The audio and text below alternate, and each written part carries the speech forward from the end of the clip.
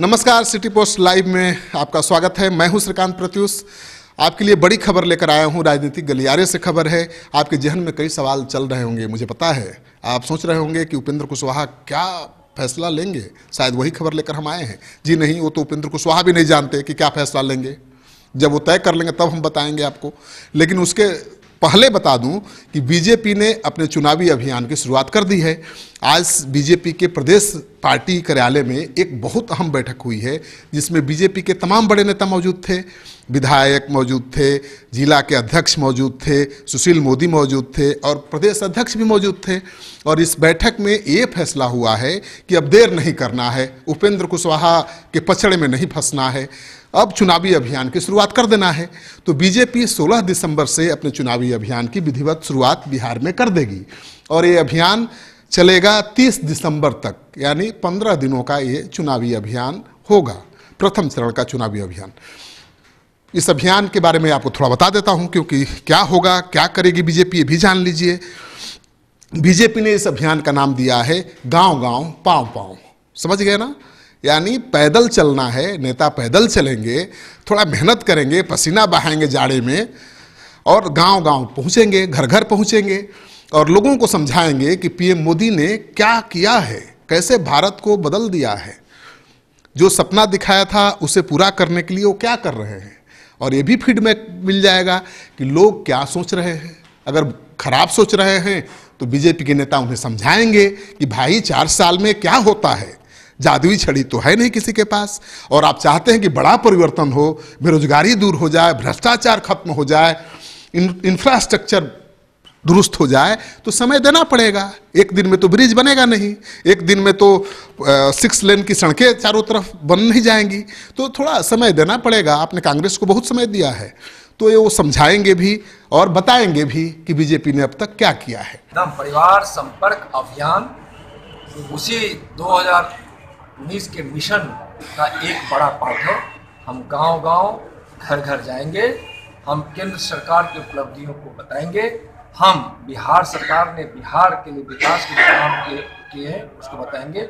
हम एनडीए को घर घर तक पहुंचाएँगे, भाजपा से पहुंचाएँगे और 16 दिसंबर से 30 दिसंबर तक इस घर घर परिवार परिवार तक पहुंचकर इस अभियान को पूरा करेंगे और यह आह्वान करेंगे कि इस देश में 2019 में जो सरकार बनने वाली है, उसके मुखिया, उसके प्रधानमंत्री नरेंद्र मोदी हों, इसके लिए जनता से आशीर्वाद मांगे। लेकिन सबसे बड़ी बात जो आपके जहन में सवाल उठ रहा था, मैंने कहा ना कि उपेंद्र कुशवाहा क्या करेंगे? वो तो खुद नहीं जानते क्या करेंगे। लेकिन उपेंद्र कुशवाहा के हाई वोल्टेज ड्रामा, उनकी मांग, उनकी नाराज़गी से बिल्कुल बीजेपी के नेता बेपरवाह हैं। उनको चिंता ही नहीं है कि वो एनडीए छोड़ेंगे, महागठबंधन में जाएँगे तो क्या होगा? जाने दीजिए, रहना है तो रहें, जाना है तो जाएँ वाला एटीट्यूड है। तो उपेंद्र कुशवाहा फैसला लेंगे, कल तक ले लेंगे, आज नौ तारीख है दस तारीख को ले लेंगे, क्योंकि ग्यारह तारीख को पाँच राज्यों के विधानसभा चुनाव के नतीजे सामने आने वाले हैं। आप देख ही चुके हैं ना कि एग्जिट पोल के जो नतीजे सामने आ रहे हैं, बीजेपी साफ़ है। यानी मोदी का मैजिक नहीं चला है विधानसभा चुनाव में। अगर नतीजे आ जाएँगे, उसके बाद उपेंद्र कुशवाहा छोड़ेंगे बीजेपी को तो क्या कहा जाएगा? यही ना कि लग गया कि नैया डूब रही है तो भाग रहे हैं। तो उससे पहले फैसला लेना पड़ेगा उनको। तो मानकर चलिए कि उपेंद्र कुशवाहा 10 तारीख को मंत्री पद से इस्तीफा दे देंगे, अगर एनडीए को छोड़ना है तो। नहीं तो महागठबंधन को भूल जाएँगे। अब कितनी तरजीह मिलेगी उनको एनडीए में?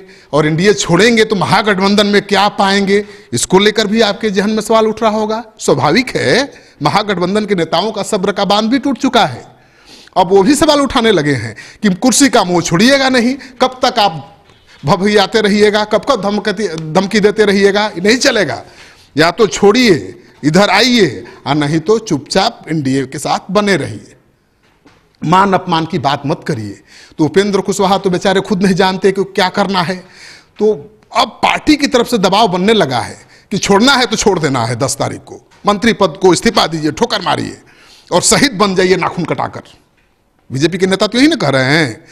जेडीयू के नेता कि नाखून कटाकर शहीद बनने चले हैं। तो उपेंद्र कुशवाहा को फैसला लेना पड़ेगा कोई अब गुंजाइश नहीं है इस तरह से खेल खेलने की। तो खेल क्या होता है? इंतज़ार करिए इतना दिन इंतज़ार कर लिया तो एक दिन और इंतज़ार करिए।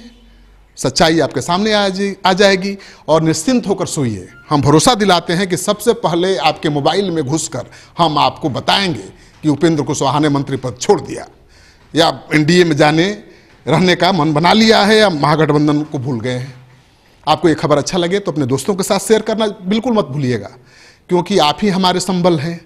आप हमें देखें, देखते हैं, इसलिए हमारा भरो, हमारा मान बढ़ता है, इसलिए हमारा हौसला बढ़ता है। आपका सहयोग समर्थन लगातार मिल रहा है। दो महीने में एक लाख से ज़्यादा लोगों ने सब्सक्राइब किया है। उसके लिए आपको बहुत बहुत धन्यवाद। नमस्कार। Thank you.